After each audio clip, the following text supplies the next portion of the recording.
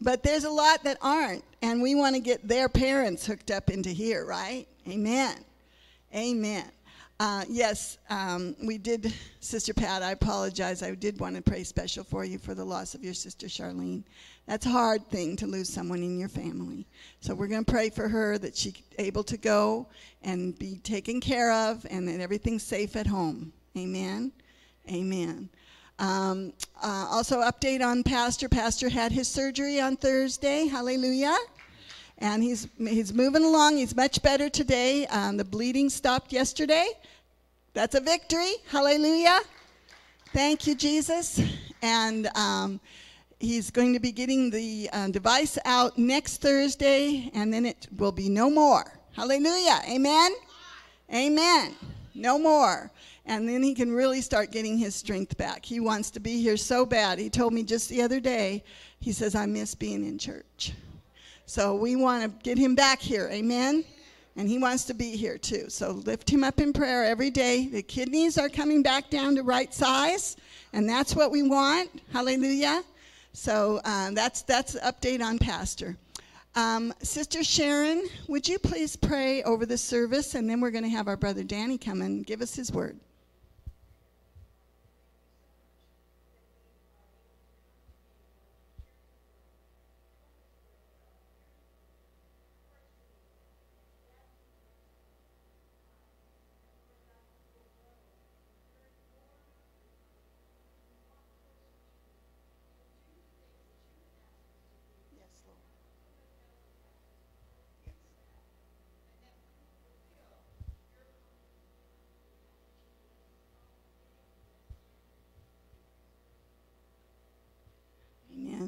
Sister Teresa, you want to take the kids downstairs? Let's give them a hand as they go, please.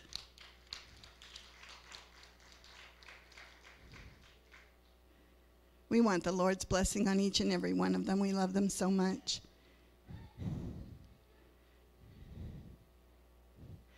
And little Joey, he's a miracle. That, that baby right there is a miracle. He's not supposed to be alive. He's not supposed to be able to walk. He's not supposed to be able to talk. And I think he talks too much, right? Right, Bobo? she says just enough. Okay, and let's give Brother Danny a hand. Please welcome him. Thank you, Danny, so much for helping us at this time. You have a great pastor's wife, by the way. Not just because she gave me a nice introduction, but just because she is nice. Whoops. Well, praise the Lord. Anybody here happy to be in the house of the Lord today? Yeah, that was pretty enthusiastic. I, I, I just about believe that. Uh, before I get started, I would uh, like my wife to come forth, if she would. That sounded really biblical, didn't it? Come forth, like Lazarus, come forth. Um, she has a little testimony about something the Lord's doing in our life that she would like to share. And because she's a colorful t- storyteller, I'm going to let her tell this. I'm trying, I was hoping Linda would be in here. So she had to go somewhere, but I'm going to um, share it with you guys. And you guys are like the first people to know this. So you're special. My my church hasn't even heard this yet. Can you imagine? All right. So how many of you remember um, I was here a couple weeks ago, and um, I said that the Lord had really spoken to me that some things that we'd prayed about, maybe 30 years even, that He was going to bring um, conclusion to those things, and we were going to reap some of the things that we've sown. How many of you remember that? Okay. God is so amazing. The very next day, the very next day, um, I was in uh, to tape my show. You all know that I have a show on the Holy Spirit Broadcasting Network, and um, the the network is part of a conglomeration affiliation of churches that go all around the world. There are churches from all around the world, and um, they came to to us really, but um, they came to us and said that they I don't even know how to say this. That they um, we're just so happy with what God was doing in our lives and so on and so forth. And um, that they really saw us as a, having a global ministry. And um, they were thinking of taking um, us or me or whoever to some places like Africa and so on like that to minister. But the most incredible thing is, is that they said as they've been praying, I want to share this one thing with you. I put it up in the back. There's a Holy Spirit Summit. People are coming from all around the world. It's right there in Chino, and um, I didn't bring any tickets, but I do have them. There, if anybody's interested.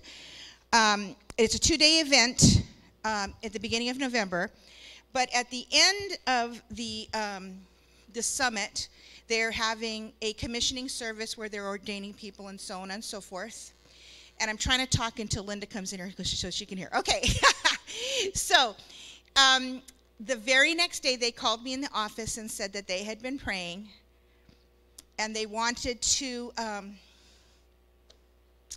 extend the the name apostle to me, Apostle Carol Dickey, and if you can believe this,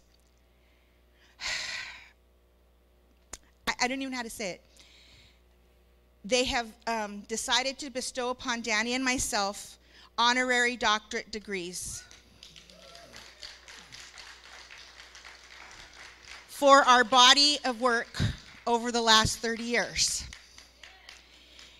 Was the day after I preached that sermon that things that we had been sowing and praying for for over 30 years, God was going to bring to restoration and to now. And the very next day they call in and says, Carol, we're giving you a doctorate.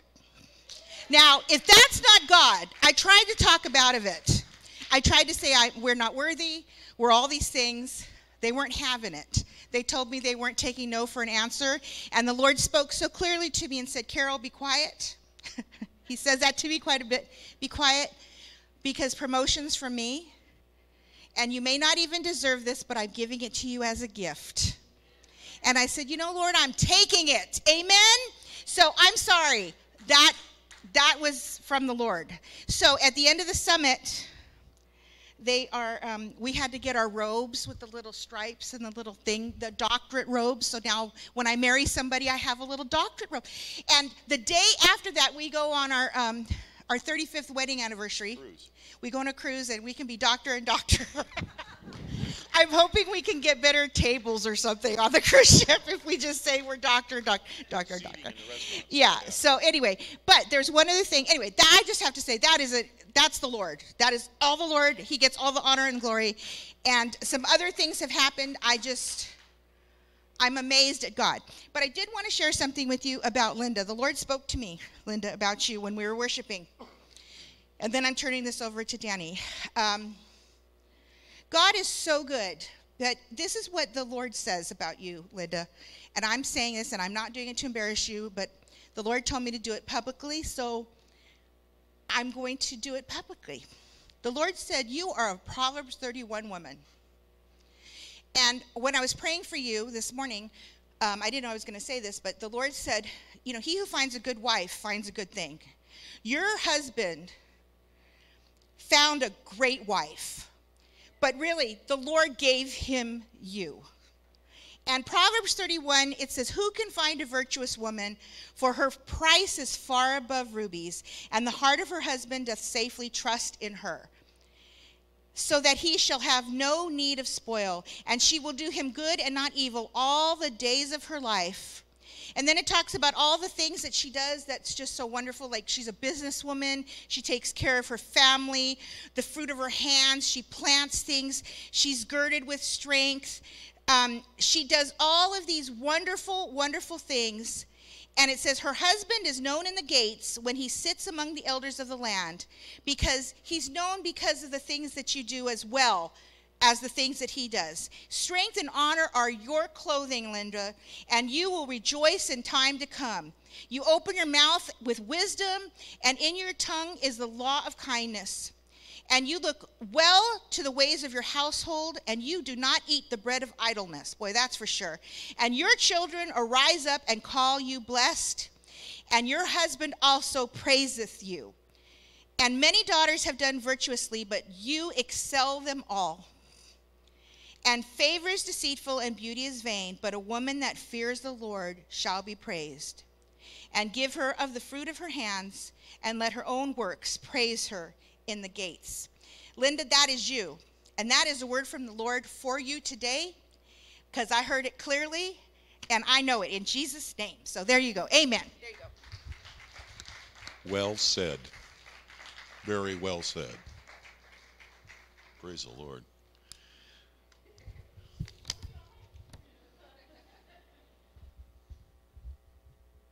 I should have known better than to give my wife the microphone, you know. I, I was tempted to just go sit down and say, mm, go ahead, hon, you got it. You can take care of it. No, I'm kidding with you. Actually, that wouldn't have been just fine. You would have probably preached this message as well as anyone. Well, today I'm going to talk about something somewhat familiar, but maybe a little different than what we're used to. Uh, I'm going to talk about the book of Malachi. And most of us, when we think of the book of Malachi, what do we think of?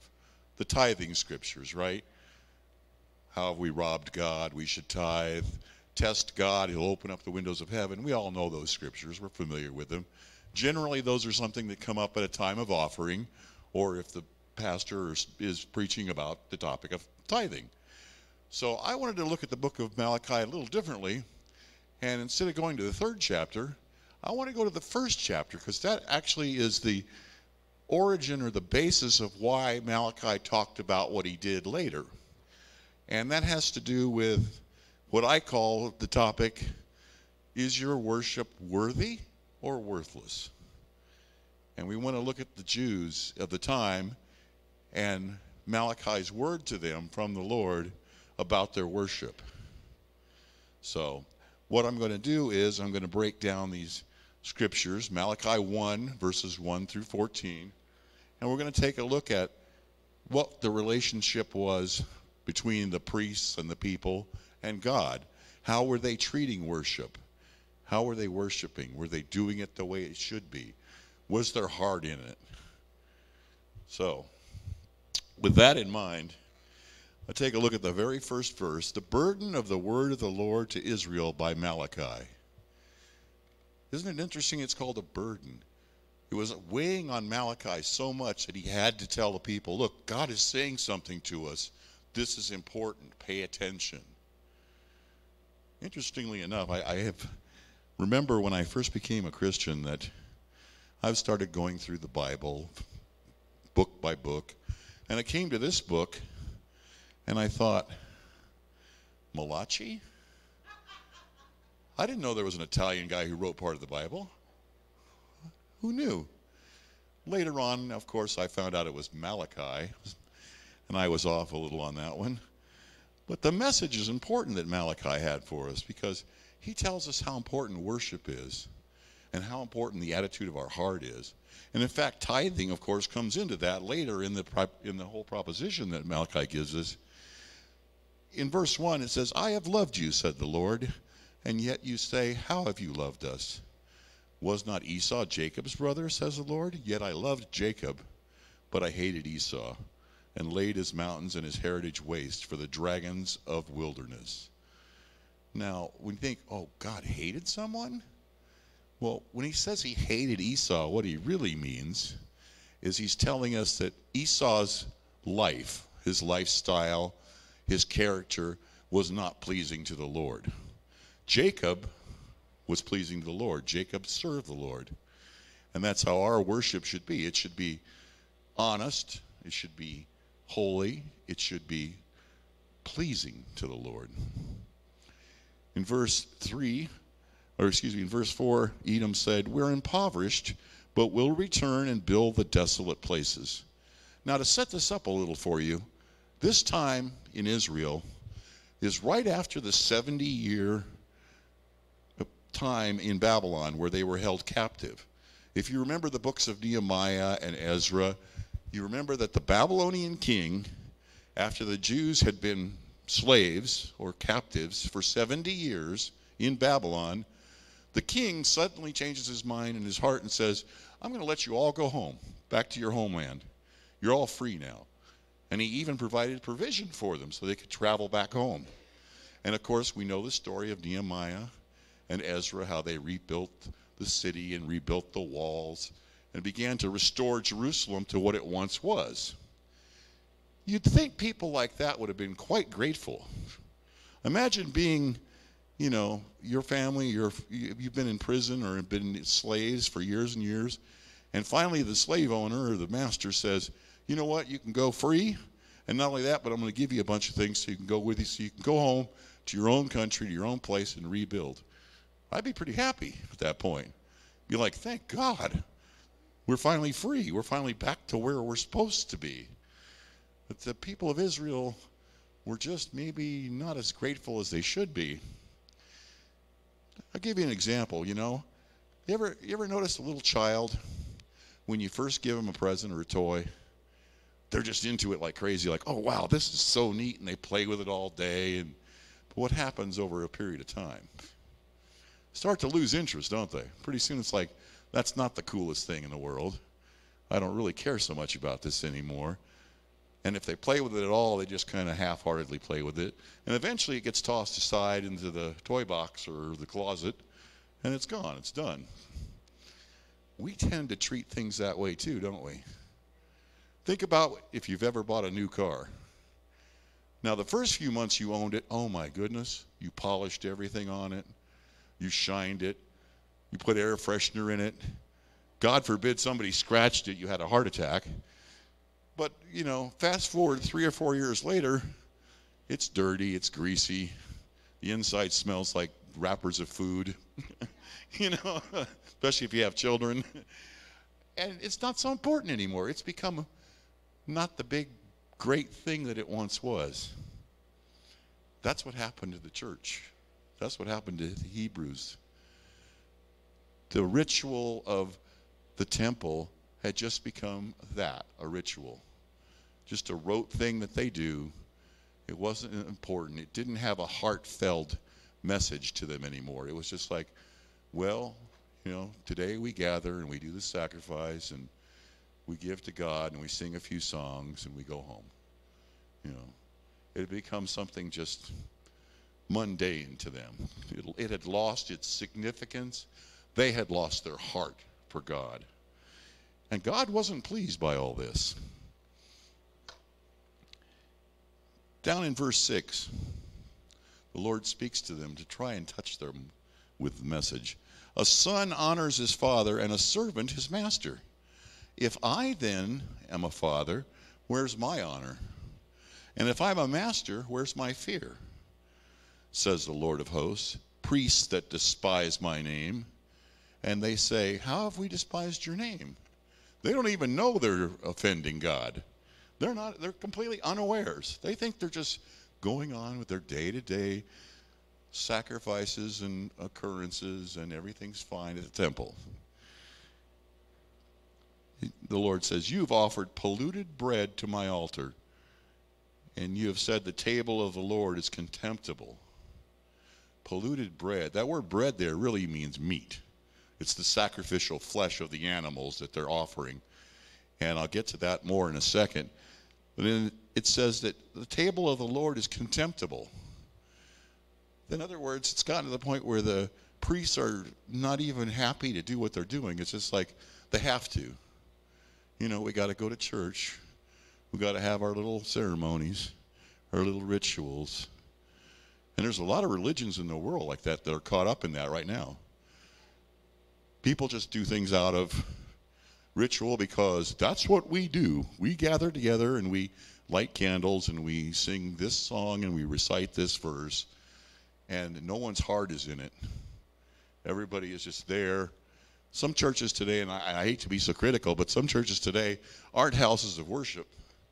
They're really just social clubs. People get together. I don't know if you've ever watched anything on TV, you know, a big church or small church, where you're watching like the worship service and you see people, they're holding a hymnal and they're like this. Oh, bless the Lord.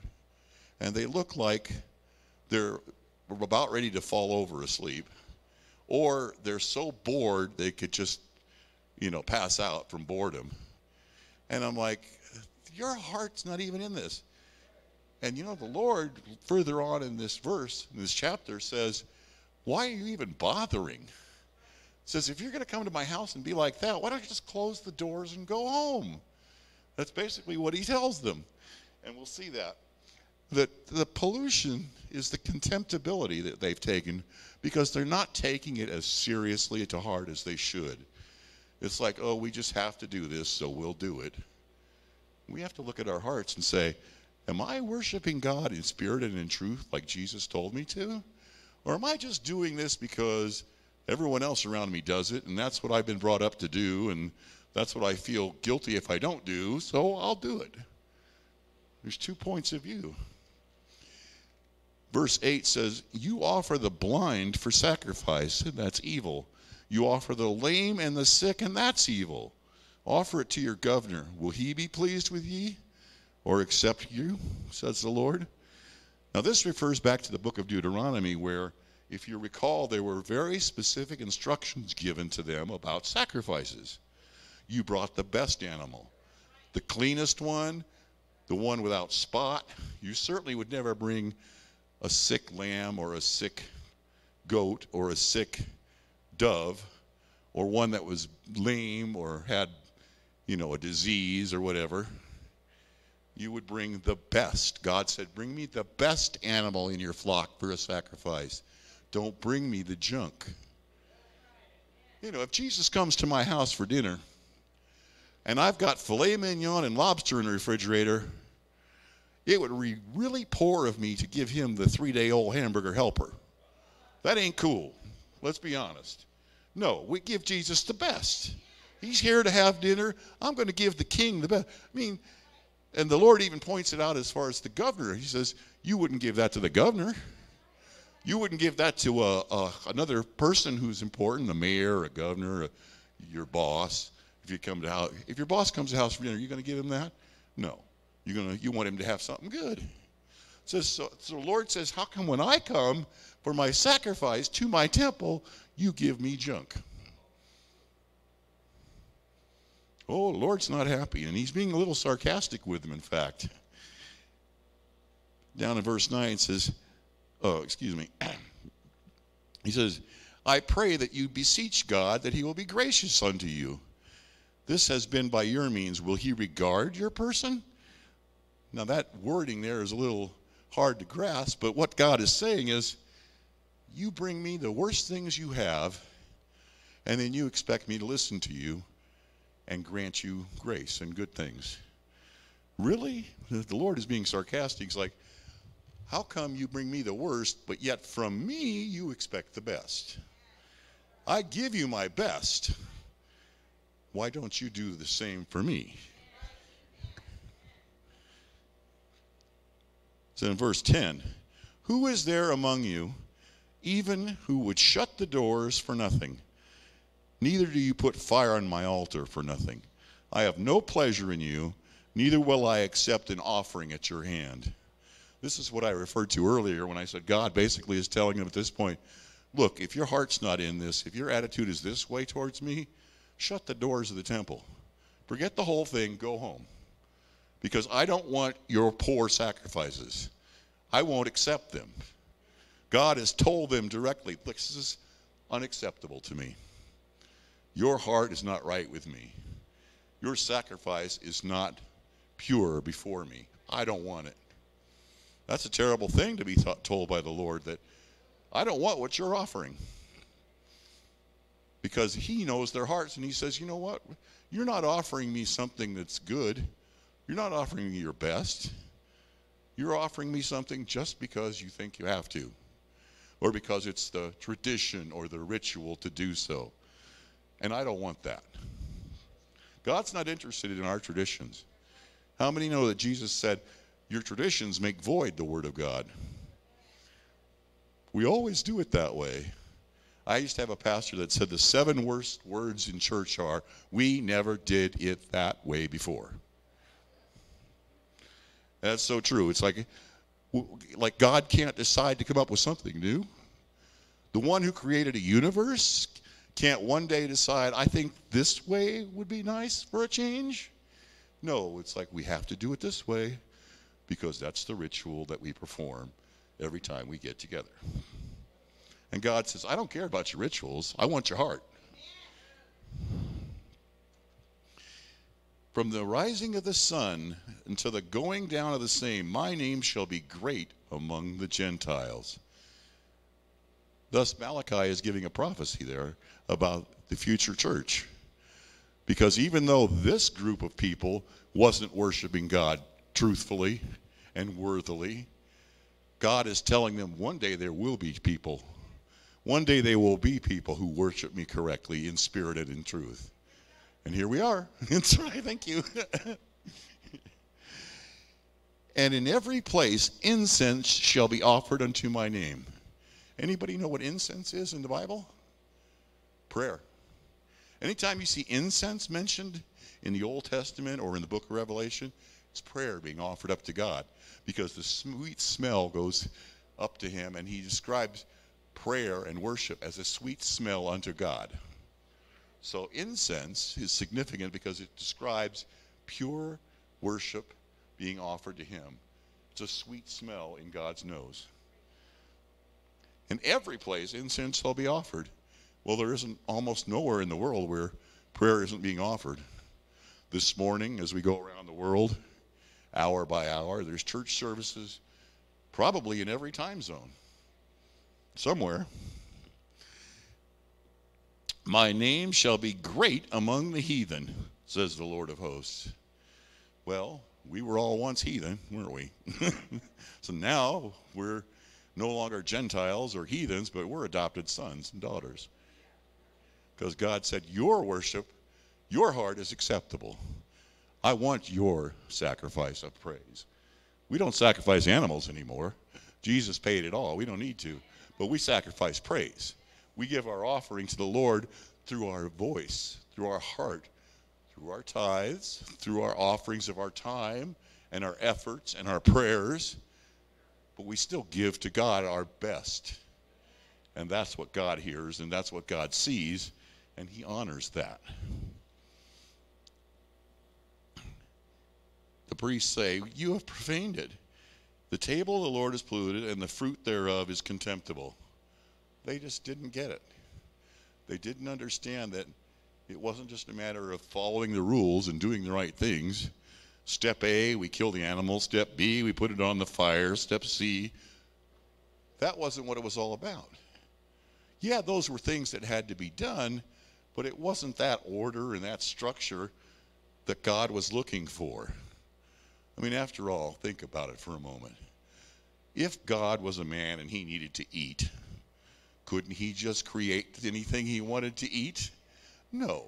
He doesn't need those sacrifices of animals.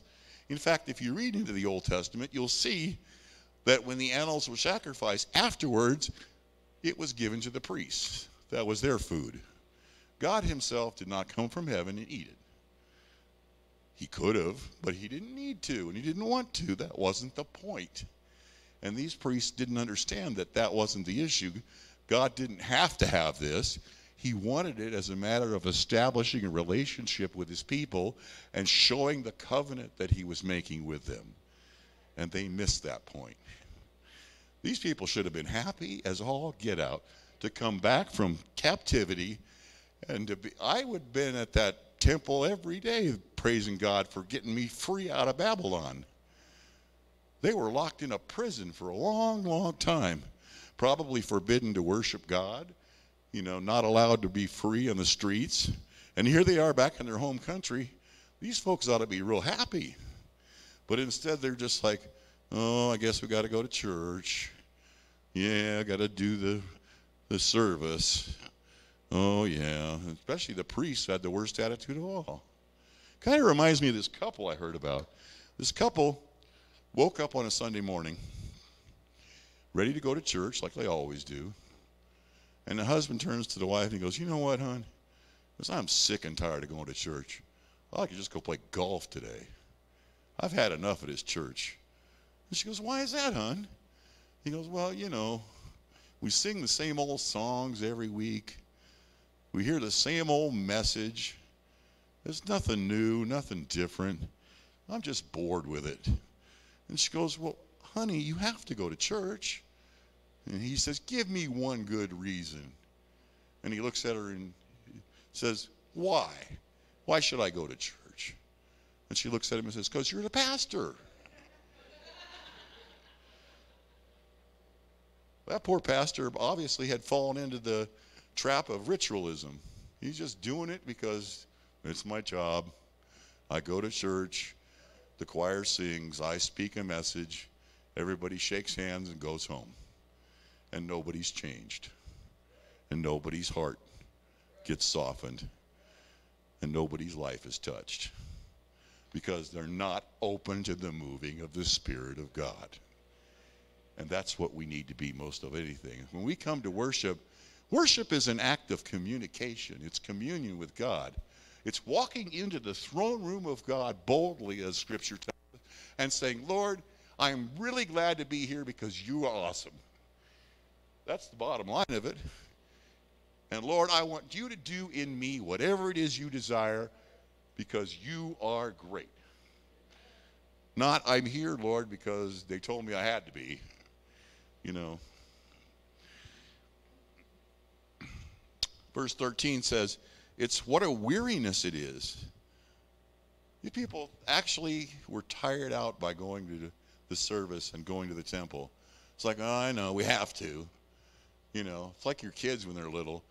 You know, you ever had children who didn't want to go to church, and especially if they're in that little four, five, six year old. I don't want to. I want to stay home and watch cartoons. And you have to instruct them that we go to church for a good reason, and not because we, that's just what we do, but because the Lord is there and we're there to be with Him. And so these, these priests were actually like whining and complaining. It says, You have snuffed at it. That's an interesting term I thought of because you ever seen somebody who's kind of like disgusted with something and they make a, they kind of make a thing like this, like, huh. In fact, one of our dogs does that when she doesn't do what, when, when she does something she's not supposed to and she gets corrected, she'll go lay in the corner and she'll actually make this remark at you like, huh. And I swear, this, this little dog has personality to like tell you, well, that's what I think of you. And that's what these priests were actually doing that to the to the service and to the Lord, saying, uh, "We're just here because we have to. Just do it. Come on, let's get it over with." And you have brought that which was torn and lame and sick. Thus you brought this as an offering. God says, "I look at what you bring to me," and then He says, "Should I accept this?" And the answer obviously is no. That's not your best. That's not what I asked you for. I asked you for your best. I wanted your heart, you gave me your body. Like the scripture says, your lips are praising me, but your hearts are far from me. Yeah, you come in here and you make the right words and you do the right gestures, but I want this. I want you. I'd rather you didn't bring me a sacrifice, but you brought me yourself because obedience is better than sacrifice. And I'd rather you came in here and were obedient to me and we had fellowship with one another than they bring me a sacrifice. Cursed is the deceiver. The deceiver is someone who tries to put it over on others. Sometimes people would try to bring something in and like make themselves look big. You know, the person who uh, wants to tell everyone how much they gave to the church last year. It's like, here's a thought for you, my friend. I don't care. He cares. I don't. It was two cents or two million. That's none of my business, and I don't care. You know, as long as it came from your heart, that's what's important, not what came from your wallet. Who had set his flock of male and vows and sacrificed unto the Lord a corrupt thing. Never give God corrupt things. He's holy. He doesn't deserve them. He's worthy of good things to be offered to him. The Lord says, I'm a great king, and my name is dreadful among the heathen. I'm impressive. I'm a big God, and I'm a holy God. Don't bring me your trash. I don't need it. I want you. I want the best. And, you know, as we go on about this, we can see that there's something there to be said to us from the Holy Spirit that is our worship worthy of God? Are we giving Him us? Because the, the ultimate thing He wants is us our being, our existence, our spirit, our hearts. All the other stuff is good, and He does require those things that we give of our time and our money and all these things and our efforts. But ultimately, it's us that He wants. That's what we were created for, to have communion with God. You know, He could have created all those things if He just wanted things. That's not what He wanted.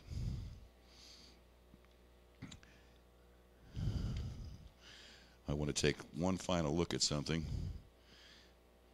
If we go down to uh, verse 14, when he says, Who has in his flock a male and vows and sacrifices to the Lord a corrupt thing? I am a great king. That tells us all we need to know right there. God is a great king. And you wouldn't give a great king come into your house the worst thing you had. Would you make him sit in a cheap chair that is broken? No, you give him your best chair. You give him your best dinner. You give him your best of everything you had. You'd ask him, Are you comfortable? Is there anything I can do for you? If you do that for each other, for your guests, for your friends and family, how much more is the Lord deserving of the, our best when He comes, or better yet, when we come to His house? How do we treat Him? You know, He's invited us to come, and here we are in His house. And how do we act towards the one who gracefully blessed us with an invitation to come and provided everything we need? You know, too many people today think they can just sit through a church service and somehow they've participated in worship. Were you in church? Well, yeah, I was there. Didn't do anything. Sat in a corner and, you know, played with my telephone. Let's see. I got any games? Oh, there's solitaire. I think, uh, oh, pastor, what's he talking about? I don't know. If you ask them after the service, what was the message about? Um, I'm not sure. Something about Matthew? No? I don't remember. Oh, no, it was that Italian guy, Malachi. That's what it was. I remember now. So, now I want Italian food for dinner. Anyway, uh, that isn't true just because you went to church. You know the old expression, don't you? Just because you're in a garage doesn't make you a car. It's a cliche, it's been said a million times, but it's true. That's right. Unless your engine's running for Jesus and you're in the garage and you're creating a little smoke and heat and power like a car does, then you're a car. I want to be a car. I don't want to just be sitting in the garage. You know, I got all kinds of stuff in the garage. Most of it's useless. You know, I want to be a car that's running. I want to be a car that's powerful, that's fueled with the right fuel which is the Word of God. I want to be fueled by the Holy Spirit, who's the pilot of my car. You know, they say God is my co pilot. No, I want Him to be the pilot. I'll sit over in the seat and watch Him drive because He knows where to go and I don't. And to paraphrase an old movie, I don't need no stinking GPS. I got the Lord. He will tell me where to go. Y'all know why Moses and, and uh, the Hebrews had to wander in the desert 40 years, don't you? Because Moses wouldn't stop and ask for direction. Typical guy. Anyway, just to, to end this all, somebody said amen. Uh, we must be certain that our worship is righteous before the Lord. Is my heart right? Is the reason I'm saying and doing what I'm doing motivated by a love of God? and by a desire to be pleasing to Him? If it is, we're right. If it's not, that's easily correctable. We can come to the Lord anytime and say, Lord, forgive me. I'm not taking this the way I should. I'm not acting the way I should. I want this to be real, Lord.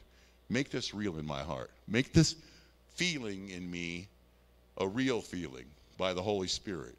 Let Him work in me. Let Him build me up let me understand what worship of you really amounts to. and what it should be and what it can be. The poor Israelites, they don't know what they missed out on. Because all throughout the Old Testament, and even today, whenever God is truly worshiped, he moves in his people and he does amazing things. But he says, Your heart has to be right for me if you want me to intervene in your lives and to touch and to do and to move. And if anybody here wants that, I know I do, then our worship has to be offered up pure. And the Holy Spirit can bless that worship and say, Yes, I'm working in you, I'm changing you, I'm moving in your life. And that's what we want, that's what we desire. Praise the Lord. Let's pray. Let's pray. The Lord show us those things. Father, we ask for a blessing, Lord, but by your Holy Spirit, that you touch the minds and hearts of every individual here. Show us, O oh God, how to be true worshipers, to lift up the name of Jesus, Father, in spirit and in truth, as you have so taught us. Lord, let those words ring true in us. Let us know today, O oh God, that we would not be like the children in Malachi's time, the priests who just did it because it had to be done. But let us bring to you a spirit of praise, of worship. Let us have communion with our Father who has adopted us as children into his family. And let us truly love you, Lord, with the spirit of love, with our adoptive hearts open and ready to receive from you, to give everything we have of you, Lord, as you gave everything to us. For we know that you loved us so much, you gave the best thing you had. Thank you, Lord. Thank you, Father, for all that you give to us. For you are a good God, a mighty God. You are the God who provides. Jehovah Jireh. We know that you give everything you have to those you love. In Jesus' name today, Lord, bless us. Bless us for hearing your word. Let your word settle in us and be a part of us, Lord. In your precious name, amen.